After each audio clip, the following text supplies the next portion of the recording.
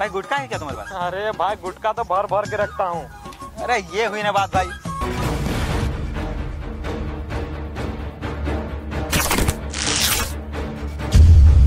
तुमको पता है कि गुटखा खाने से कितनी भयानक बीमारियाँ होती है?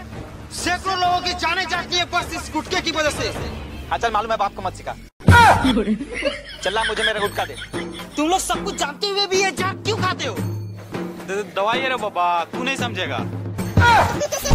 लेकिन मैं तुम लोग को ये चार नहीं खाने दूँगा। क्यों?